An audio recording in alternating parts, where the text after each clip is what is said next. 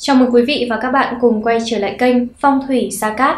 Trong chương trình ngày hôm nay, chúng tôi sẽ chia sẻ cho quý vị những con giáp xui xẻo nhất ngày 20 tháng 10 âm lịch. Thưa quý vị, vào ngày 20 tháng 10 âm lịch, đây là bốn con giáp đen đủi nhất, làm gì cũng đại bại. Ngày hôm nay sẽ là ngày cực xấu với những con giáp này. Phần lớn các bạn thuộc những con giáp này sẽ dễ bị tiểu nhân quấy phá, hãm hại, trong vấn đề tiền bạc, các bạn cần tránh cho người khác vay mượn, nợ hay là vay tiền bởi khả năng cao là sau này sẽ khó đòi được. Trong ngày hôm nay, các bạn cũng đừng dại mà bắt tay vào làm những công việc lớn lao, đại sự, nếu không sẽ không tránh khỏi hai chữ thất bại. Thế nhưng sau cơn mưa trời lại sáng, nên các bạn không nên suy nghĩ tiêu cực, qua hôm nay mọi chuyện lại khác.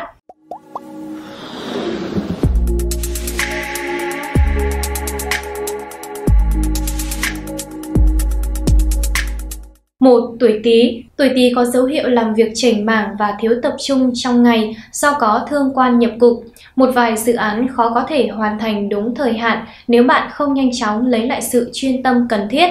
Chẳng những vậy, tài vận cũng có thể xa sút bất cứ lúc nào, cũng chỉ vì cái tính tiêu pha quá hoang phí cho sở thích cá nhân của bạn.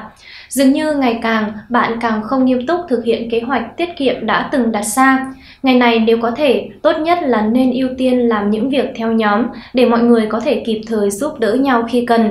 Tuy nhiên, bạn cũng không nên ôm đồm quá nhiều việc vì sẽ không đủ sức hoàn thành tốt. Khi hợp tác với người khác thì hãy cố lắng nghe, chia sẻ để cùng nhau làm tốt nhất.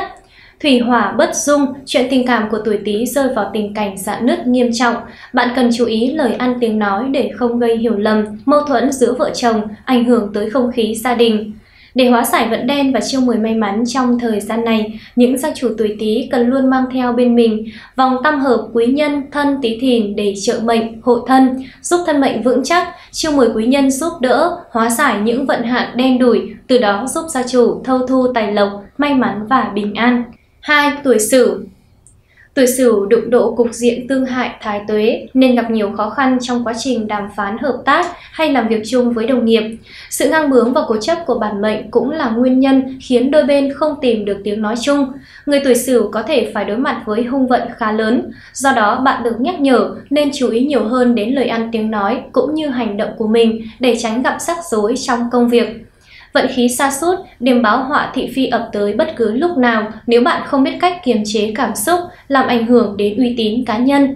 Con giáp này chớ nên tự tin thái quá mà hỏng việc, thậm chí còn mất lòng người khác. Có thể bạn nghĩ mình có tài, nhưng núi cao còn có núi cao hơn. Điều bạn biết chỉ là hạt cát trong đại dương trí thức mà thôi, nên đừng cố tỏ ra hơn thua mà tự hại mình nhé. Bù lại hỏa sinh thổ giúp đường tình duyên của tuổi Sửu khá lý tưởng, mối quan hệ có biến chuyển tốt đẹp và nhiều kỳ vọng, cả hai có thể nghĩ xa hơn đến chuyện tương lai. Người độc thân dù vẫn chưa có sự thay đổi quá rõ ràng, nhưng ít nhất bạn đã chịu mở lòng mình hơn. Để hóa giải vận đen và chiêu mời may mắn trong thời gian này, những gia chủ tuổi Sửu cần luôn mang theo bên mình vòng tam hợp quý nhân tỵ dậu Sửu để trợ mệnh, hộ thân, giúp thân mệnh vững chắc, chiêu mời quý nhân giúp đỡ, hóa giải những vận hạn đen đủi, từ đó giúp gia chủ thâu thu tài lộc và bình an. 3. Tuổi Mão Tuổi mão có điểm báo có thể xảy ra tranh chấp với người khác về quyền lực do tương phá cản trở. Bạn là người tham vọng nhưng chưa biết thể hiện một cách khéo léo nên vô tình làm mất lòng người khác, khiến đối phương có cái nhìn không thiện cảm mà bỏ qua năng lực thực sự của bạn. Chẳng những vậy, một vài kế hoạch buôn bán kinh doanh của bản mệnh trong ngày này còn vấp phải những chiêu trò cạnh tranh không lành mạnh từ đối thủ. Dù đã có sự chuẩn bị trước cho những tình huống tương tự, nhưng lợi nhuận của bạn vẫn bị ảnh hưởng ít nhiều. Ngũ hành sinh xuất cũng phần nào tác động lên chuyện tình cảm vốn đã đầy rẫy rối ren của con giáp này. Mối quan hệ của bạn và nửa kia ngày càng căng thẳng khi mâu thuẫn mới cũ chồng chất nhưng chẳng được giải quyết một cách ổn thỏa. Để hóa giải vận đen và chiêu mười may mắn trong thời gian này, những gia chủ tuổi mão cần luôn mang theo bên mình vòng tam hợp quý nhân hợi mão mùi để trợ mệnh, hộ thân, giúp thân mệnh vững chắc, chiêu mười quý nhân giúp đỡ, hóa giải những vận hạn đen đủi, từ đó giúp gia chủ thâu thu tài lộc và bình an. 4. Tuổi tỵ Thứ ba này bị hung thần thiên quan ảnh hưởng, người tuổi tỵ khó phát huy năng lực theo như cách mình mong muốn khi luôn bị tiểu nhân giở trò cản trở. Vốn sẵn lòng ganh ghét, tiểu nhân chỉ đợi lúc bạn mất cần là ra tay. Do đó, mọi sự cẩn thận đều là cần thiết trong hôm nay. Bên cạnh đó, những dự định đầu tư cũng nên được tính toán lại một cách cẩn trọng để tránh rủi ro. Nếu có thể, bạn tốt nhất nên lùi ngày tiến hành, chờ tới khi vận khí ổn định hay vận may lớn hơn để không rơi vào cảnh bất chắc do quá nóng vội. Ngày hỏa khí vượng, tâm trạng của con giáp này trở nên vô cùng nóng nảy, chỉ một tác động nhỏ cũng có thể khiến bạn bùng nổ và sẵn sàng tranh cãi với lai làm chí mình. Chỉ một tác động nhỏ cũng có thể khiến bạn bùng nổ và sẵn sàng tranh cãi với những ai làm trái ý mình, nhưng bạn cũng không nên áp đặt suy nghĩ của mình lên người thân kéo gây giãn nứt tình cảm. Để hóa giải vận đen và chiêu mời may mắn trong thời gian này, những gia chủ tuổi tỵ cần luôn mang theo bên mình vòng tam hợp quý nhân tỵ dậu sửu để trợ mệnh, hộ thân, giúp thân mệnh vững chắc, chiêu mời quý nhân giúp đỡ, hóa giải những vận hạn đen đủi, từ đó giúp gia chủ thâu thu tài lộc và bình an. Năm Tuổi ngọ Ngày ngọ ngọ tự hình, người tuổi ngọ gặp khó khăn trong việc xác định mục tiêu tương lai của mình. Bạn bỗng rơi vào hoang mang khi không chắc lựa chọn ban đầu có đúng hay không.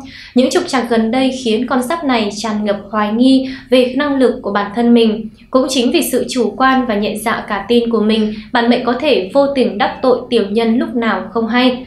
Do đó bạn cần phải cẩn trọng với những người xung quanh mình, có nhiều người đang ghen tị chứ không thật lòng muốn đối đãi tốt với bạn như bạn nghĩ đâu. Thời điểm này bạn cũng cần phải tỉnh táo để giữ chặt túi tiền của mình càng sớm càng tốt.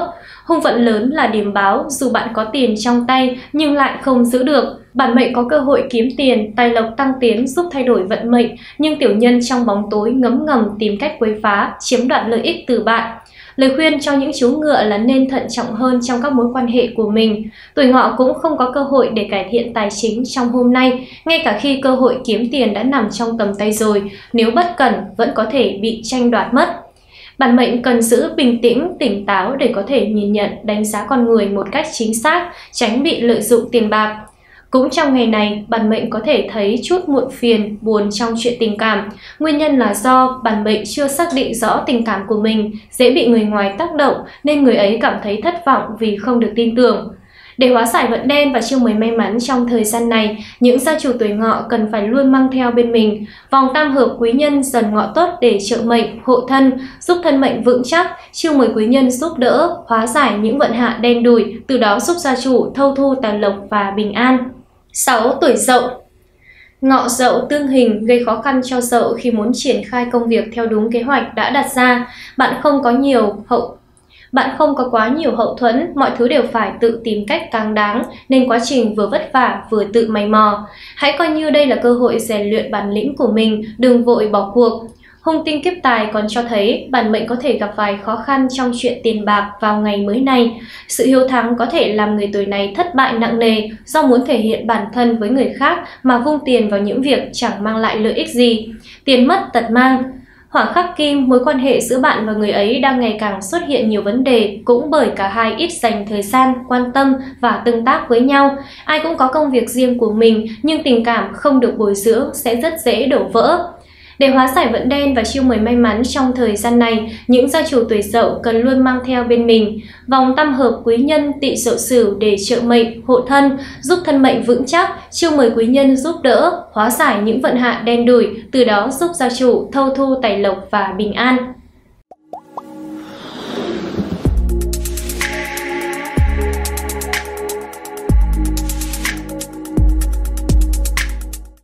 Hy vọng những nội dung trong chương trình ngày hôm nay đã giúp quý vị và các bạn có được những thông tin hữu ích hơn nữa. Rất cảm ơn quý vị đã quan tâm theo dõi chương trình. Mọi thắc mắc của quý vị hãy để lại comment bên dưới ô bình luận hoặc gọi điện trực tiếp đến số 0989 34 9119 để được tư vấn chi tiết. Quý vị đừng quên bấm like, đăng ký kênh và nhấn vào chuông để nhận thông báo mới nhất của kênh để đừng bỏ qua bất kỳ video và thông tin mới nhất nào của chúng tôi. Xin chào và hẹn gặp lại quý vị trong chương trình tiếp theo.